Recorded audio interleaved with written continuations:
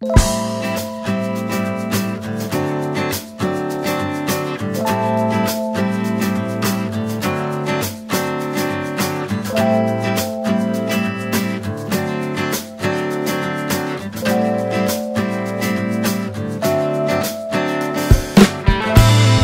nome é Antônio Carlos Rodrigues, sou gerente técnico da Rova do Brasil, uma multinacional indiana fabricante de corantes para alimentos.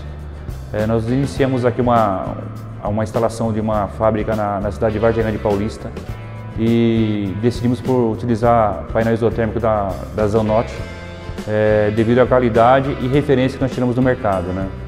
É, tivemos muito excelentes referências deles e essas referências se confirmaram no, no decorrer da obra é, trabalharam de, com qualidade, com prazo sempre correto, tudo que foi acordado no, nas cotações, nas decisões foi cumprido pela Zanotti.